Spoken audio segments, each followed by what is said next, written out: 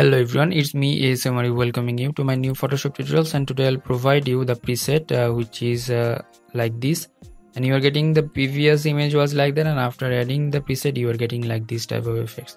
So let's start the tutorial. If you are new in my channel please do subscribe and hit the bell icon for the new notifications.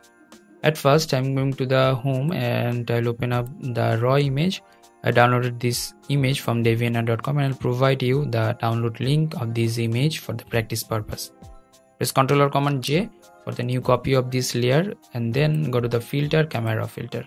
So here in this photo you're getting something spot in a face. At first I have to remove that spots. I'm taking time to remove the spots. Here is a spot healing brush tool. So select this healing brush or spot removal tool and select here, here the heal portion and select once it will take the other pixel from the beside and taking you and giving you the non-affected area. So try to find out the spots from the face and it will help you out. Here is the visual spots. So this one will help you out to get the spot in uh, in a prominent way and you can remove them all. So after doing that here is another options that is the brush options. So you can brush over here. If you want to get uh, the brush for the face you have to maintain so select once and you can just select like that and increase the brightness a little bit little bit not too much. And contrast that is nice. In clarity make like that and dehaze like this. And the sharpness in a minus value. And then brush over here. When you are brushing the face it will glow it up this portion and then go to the hand tool. And after that I'll import the preset here. Go to the load settings options. And today I made the preset for you guys. That is the sh shadow girl. And I'll just add that things. And if you need you can adjust the white balance. So if i give white balance from here so it will give you the perfect look before one and after one. You're getting like that. So let's see the settings. What i have used in the other stuffs like a temperature minus 17 minus 12 contrast uh, plus 24 and the shadow minus 2 and 13 plus 13 for the whites and blacks plus 7 texture plus 6 dehaze plus 10 and vibrance that is 13 and then if I go to the blue tone curve there is no tone curve green red and the RGB tone curve. I didn't use that. If you need you can use the tone curve. It will help you out to make it nice.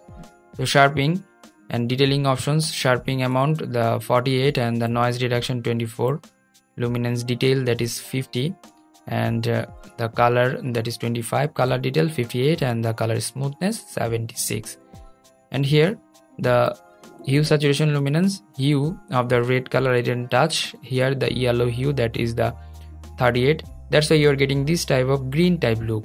Here I made some green type look for the natural ambient. And and here the green that is uh, increased for the saturation luminance increased all the stuffs except the green color. I made the green color dim or uh, like uh, deilluminate intensity i made it down that is minus 28 that's good.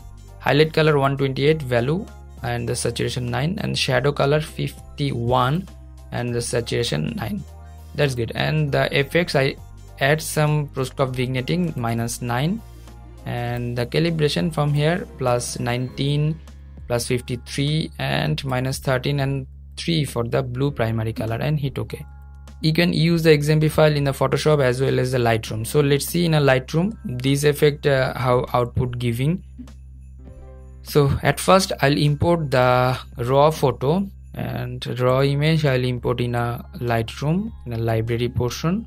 After importing that I'll have to go to the develop mode and then go to the plus sign and import the presets. So now I'm import I'm importing the shadow girl this and import it out and going to the user menu or user preset uh, so here is the shadow girl options and if i press it out it will give you like that. Before one and after one let's see the before and after effects. But one thing is that in this panel you are not getting the spot removed.